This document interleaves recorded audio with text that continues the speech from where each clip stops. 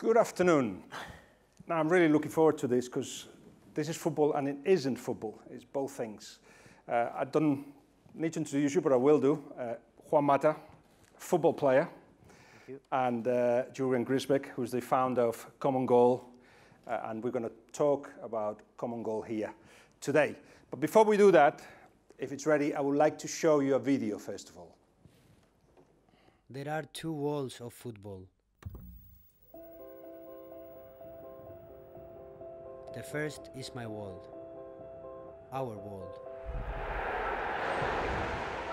The world of professional football. This is the superstar players, the sold out stadiums, the spectacular goals. This is where champions are made and layers are born. It's the football we know and love. It's not the whole story. There is another world that exists outside of ours. A world in which football is not just a game. It is a tool to support those less fortunate than us. This world is not about winning or raising trophies. In this world, their world, football carries a different meaning. Para mí es respeto, buena comunicación y amistad. Spaß, Respekt und Fairplay. respeto, valor y amor, porque o sea, el fútbol es amor. The idea is simple. We pledge 1% of our salaries to a collective fund. And Common Goal allocates this fund to football-based projects that make a real difference. Football reduces racism and make us one family. और बहुत confidence आ गया कि लोगों के सामने बात कर सके अच्छा से डर खत्म हो गया No hay fronteras entre género, al contrario, acogernos en grupo y, y empezar a jugar ese lindo juego.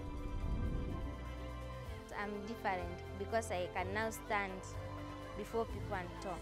Because I know about being courageous just because of football.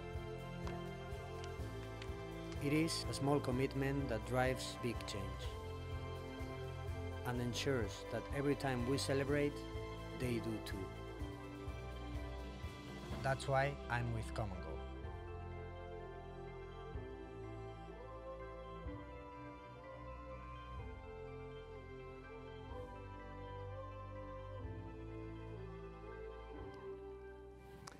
Thank you very much.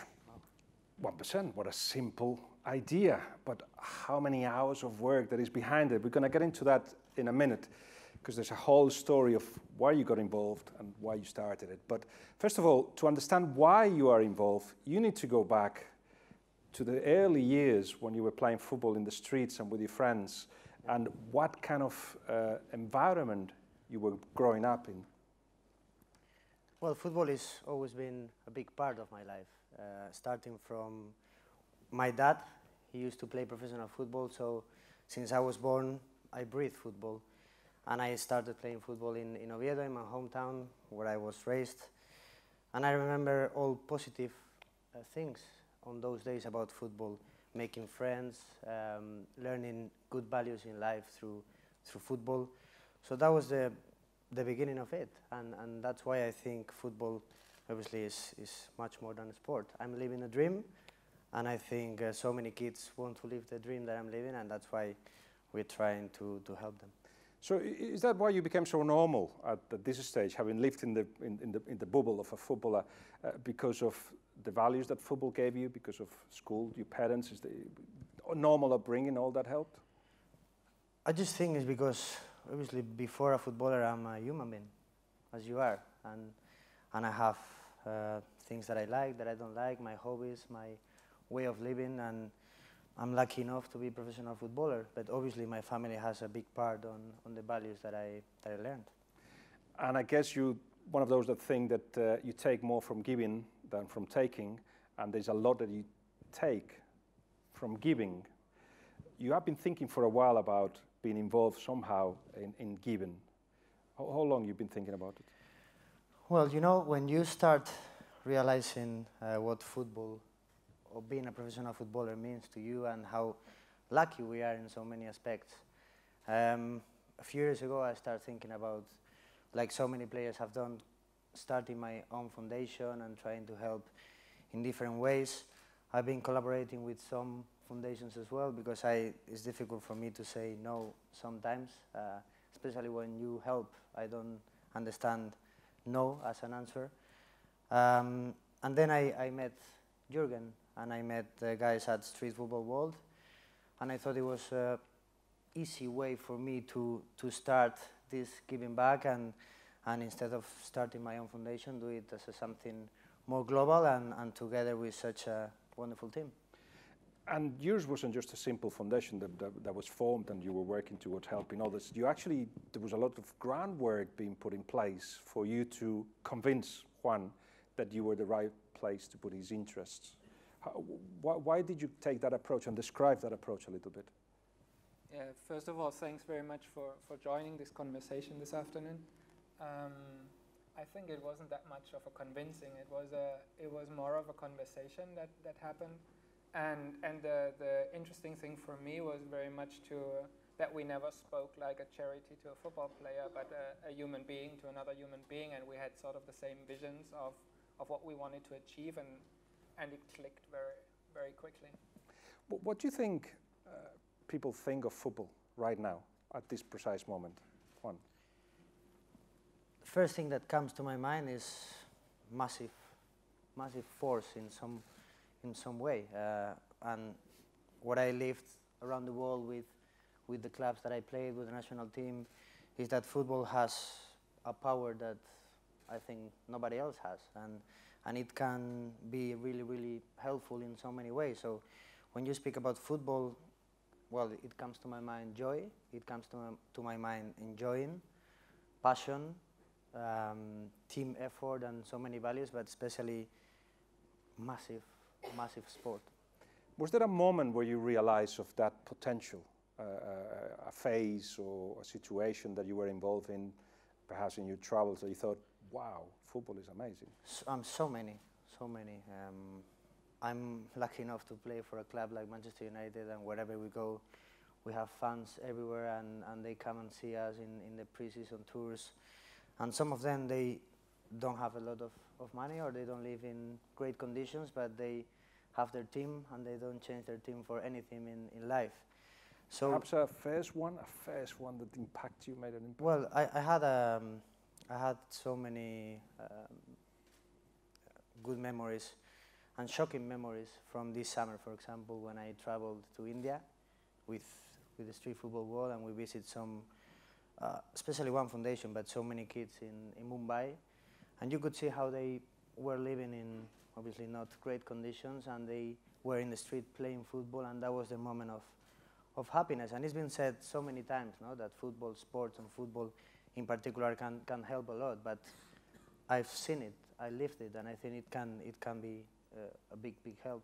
You identified Jurgen football as, a, as, as that kind of, uh, having that, that power very early on, didn't you? Yeah, actually, my, my personal story starts already. I mean, in terms of football as a, as a tool for, for social change, very early on in, in the 90s, um, impacted by, by the assassination of Andres Escobar um, of the Colombian national team after his own goal at the World Cup in the US. Um, I didn't know actually what to do with myself when I heard that, when I lived through that. I was living in Colombia at that time, actually in Medellin, where he played. Um, and, and I mean, the first thing I did was to go to the university where I was pursuing my PhD and say I, I won't come back um, without actually knowing what, what would be next. But then what happened was uh, I actually, by, by coincidence and, and learning a lot about the phenomenon of violence in Colombia, um, I, I walked across the street and I saw, hey, two groups like getting to a football pitch, um, leaving their weapons at the entrance of the, of, the, of the pitch. And they started to play football and enjoy, enjoy themselves, that like were able to communicate, were able to agree on rules and everything. And then they would walk away again, take their weapons and kill each other.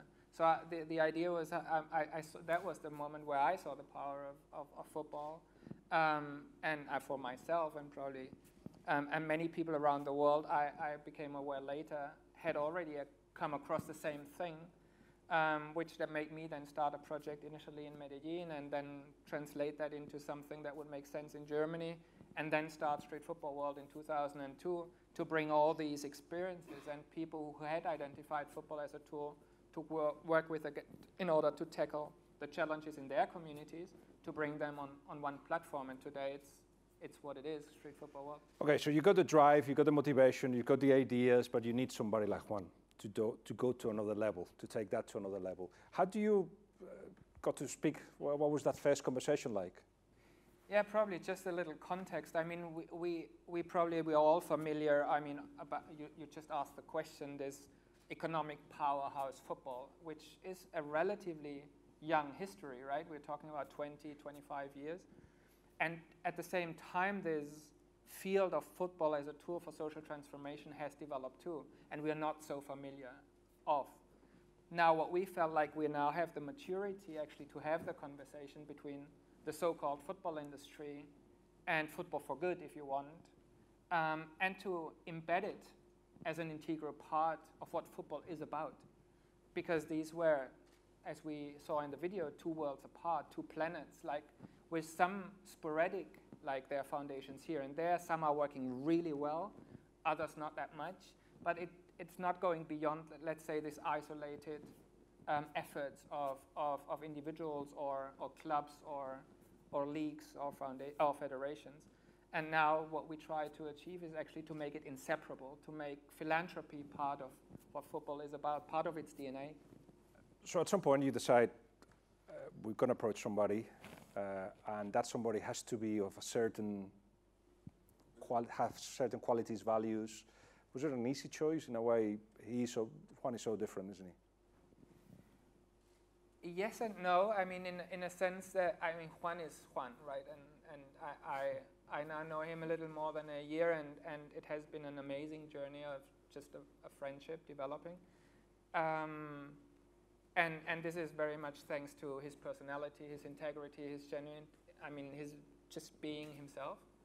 Um, but now, as we started this journey together, we come across quite a number of, of amazing individuals within the football industry who al already decided to join um, Common Goal. We haven't been that explicit um, publicly about it, but it's, it's already a, an, a, a, group of people that, that decided to join and, and follow the path.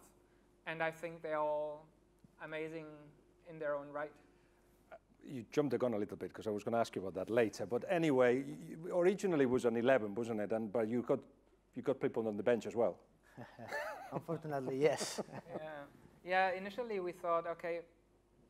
I mean, again, the, the courage of Juan to say, okay, I go. I mean, if it's just me, I go just by myself, and somebody has to start it, and, and that's thanks to his courage. But, but then um, the idea was, or the, the goal was to probably by the time of the World Cup next year to have a starting 11 of leaders who would take common goal on. Then when we, when you saw the initial dynamics after the launch with Juan and the going public, we thought, okay, maybe by Christmas we could we could be there, and then we were there after two weeks. So it, it, it, was quite an amazing. So you're saying that uh, let's say an 11 has got 11, and then some people on the bench, maybe two or three, whatever it is. Can we say the figure or not? Can we say the figure of how many? Yeah, it's currently 13. 13. It's nine male and four female. Okay, so you're saying that uh, these 13, uh, 12 people approach you. Was it the same as Matt Hummels did? I mean, did you get calls, people asking you what, what, what this is about, and, and or how did it go? Yeah, I, I, did, and that was one of the best parts of it. As soon as we launched the, uh, the project and it went public, um, I got messages and I got calls in my phone from people that I knew, from some good friends in football that they wanted to be involved, and from players that I didn't know, like Mats. Um, everyone knows how good Matt Hummels is on the pitch, but you know maybe they don't know how his personality is or how good he can be off the pitch. And and receiving his message and his passion about the project and and wanting to join, um, it was a great day. And and like him, many others. So that's one of the things that we want to achieve, that sense of community, of, of united, um, like my club, uh, football. So, so it's great to see how many players and how many personalities in football actually want to join and feel this like something that has to be done sooner or later. Because sometimes, as we spoke before, we people tend to think about football about negativity things, business, money, whatever it is. But I think there is a lot of good people and good values and good personalities in there that want to change that uh, to philanthropy and to helping the world in a way through football force. And, and it's amazing to see the reality and how many of them wanted to join. And I'm sure many of, many of them and hopefully all will join. I suppose you, you don't consider yourself lucky because having chosen uh, Juan Mata is something that you've done through a process. But uh, I've seen you, your, your presentation, and it says something like, if you, if you give us 1%, really it's like two days of your life, a year, or three, five, six hours, that's it. But in the case of Juan, he was just giving me instructions as we were coming in of what I have to ask. And uh, so the involvement is, is absolute. You really believe in this. I didn't try to persuade you. Or just suggestions of where we should be talking. But, uh, but yeah, it's not, not common. There's other, there's other players that get involved in other projects. It's not common that, that, that they so involved. And for instance, the, the trip to India uh, was part of that. Or the emails at well, yeah. 12.30.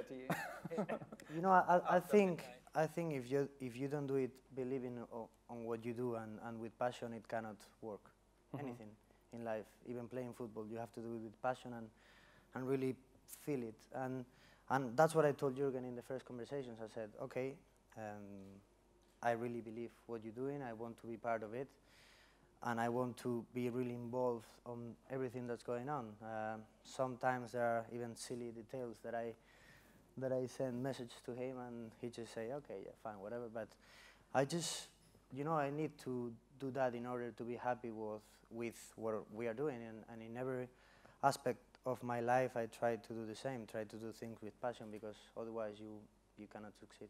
I guess another lesson of, of your involvement and the way that, that is working with Common Goal, the, the, the success of it, uh, is that actually not only uh, you get involved, not only you believe in it, you are part of the project in terms of what's, what's happening next. And what's happening next is that you needed, you felt that you needed people to be with you. You said that perhaps you could have done it on your own, but you needed people. Yeah. Uh, and, and you found that straight, straight away. Uh, is that too much coming all of a sudden, or you, you're dealing no, with it well? No, no, it was, it's, it's not too much. And you know, when, when we started speaking and he told me about street football world and that they have been working 15 years with issues like this. First thought was why I didn't know you before, why you didn't announce anything, why you didn't promote yourself in a way. And he told me he wanted to make sure that everything was perfect and, and they got enough experience to announce. And, and that's when he said they thought the time was right to join forces and to, to go public. But I just want to make clear that this is not about me, and, and this project is not about me. I'm just the one that started, because someone has to start. But I would love many others to be part of, and, and that everyone feels proud of the project, not just me or Juan Mata made the project. No, it's, it's, a, it's a common goal project that I'm the one that is in the beginning of it and trying to, to make it work and make it real. But I would like to be it known as a football as a football common goal, as a professional football common goal, like Jurgen said, uh, uniting this professional football world with the rest of, of the world and how football can, can help as a tool for social change. So, um, yeah, we will be very, very happy if we can uh, achieve that. I think it has to be done sooner or later. It has to be done uh, from football world in, in one way or another, and, and we tried to do it, and, and we are very passionate that, and we have so much illusion about it because the welcome we had it was great.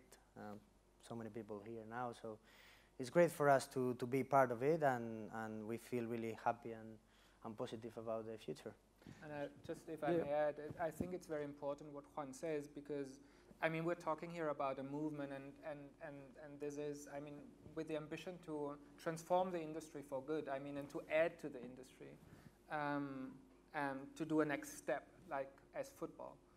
And and as such, I mean, we, we don't have yet all the answers um, people might, ha- might question or, or ask questions about, and, and we're learning as we go. Um, but we have, a, we have a concrete vision and a concrete goal, and, and, and, and we will need much more than 13 to make it happen. So a fu- full squad at least. We are thinking more. More than there's that. 65,000 professional football players, so way to go. 65,000. So you are looking into the industry to help you as well. Is that something that you will dream of? That actually they they come to television uh, clubs, federations. Is that part of, of the aim? Yeah, we're actually thinking social fair play, like si- similar to the financial fair play. We think that um, it should be part of the DNA of the sport. Um, at, at, at some point, it, th- there, there was this sort of separation of where football does social good and where football is a business. And then uh, in some countries, like here in the UK, there's obviously this whole community schemes of the clubs, which is really impressive. But that's definitely not, not the case globally. I mean, that's not the standard. Um, and, and we want to make it a standard again and globally, and therefore we believe we need to embed it, and therefore standardization will be, will be a topic to address. Explain a little bit. So so you get one percent. What happens next? So the, the 1% of, of, of the players, as, is, as, as it is a players-led movement, um, is then steered toward a, towards a collective fund, as, as, as Juan said in the video. And from there, um, it will be invested in um, football-based social change organizations worldwide. The basis we start from is, is the Street Football World basis, as we have identified already 120 something organizations in working in, in 80 countries, um, more or less. Um, and there we know about, I mean, we, and we have agreed about what, what does quality and implementation mean, how does it look like, what works, what doesn't work, um, how much money is needed for exactly what kind of result. So that's, that's what, what we believe is a good starting point, and therefore the homework we believe is, is done. But it not, doesn't need to be limited to, to street football world. It can go far beyond, and the idea is to make the movement grow. But obviously, at the beginning, it, um, and we're just 13 players, and 1% of the salaries of 13 players, and four are female. And unfortunately, the, the discrepancy in terms of earning is, is, is, is horribly. Um, um, what's, the, what's the verb I'm now looking for? Is it big? It It's big. yeah. Um, Isn't it? so so yeah, it's it's it's it's unfortunate, but but it makes I mean it will it will need a, a critical mass of, of players actually joining, and then the industry too, and in a second step.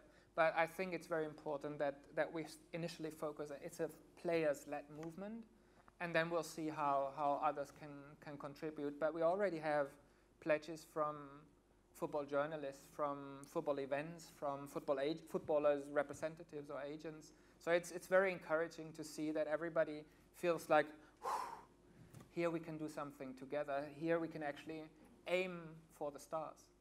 What kind of messages were you getting? Were like, uh, what's this about? Or I yeah. mean, what what common goal is?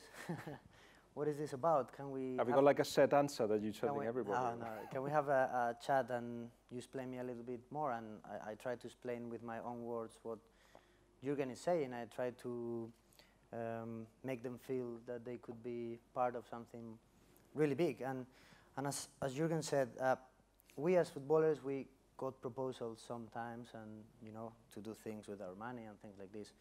But in this particular aspect, I think it's very important what I told him is it needs to be easy for us in a way that, you know, we, we play professional football and we need to be focused on that. But if it's easy for us, then it will be easier to get many more. And it needs to be transparent. It needs to get reports of what you do. It needs to be efficient.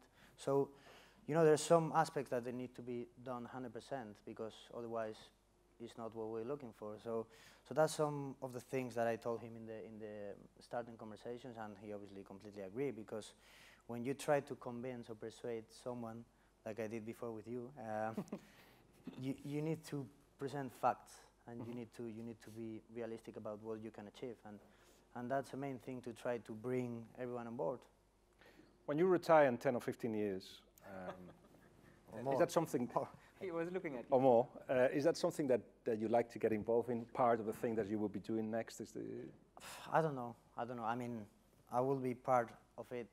Uh, I think forever in some way or another, because we we started with that vision. Um, ideally, in, in a few months or in a few years, we are talking about common goal about something that is already very very big, very known, and it's as Jürgen said within the structure of professional football. So people won't send me a text text asking what common goal is. They will already know and clubs, federations, and and the people that make decisions in football will know, and and hopefully we're having promising conversations with those people soon, and we can try to explain the situation. But that's what we would like to be in a few years' time. Um, hopefully, I'm still playing football, but I can be part of it. Just to finish off, uh, when is the next announcement of players? Can you give you something? Or Yeah, we hope that we tease a can bit. we, that we can that we can go um, with another two players next week. Um, the thing is, um, it's not about I mean secrecy or things like that. It's just that we believe it's so courageous of, of the players who join at the beginning, um, because I mean. It's always difficult to be the first mover or, the, or among the first movers because things can go wrong, and um, so that we want to give everybody space like tell stories, um, and therefore we're we're a little bit um, hesitant to, time. to, go with na- names. But um, the important thing here is that um, all the 13 are national team players. They're triple winners. They're I mean like one World Cup winners. Um, they're I mean really successful footballers, both male and female, and the next two most probably will be two female. actually, so you get the text from Matt Hummels.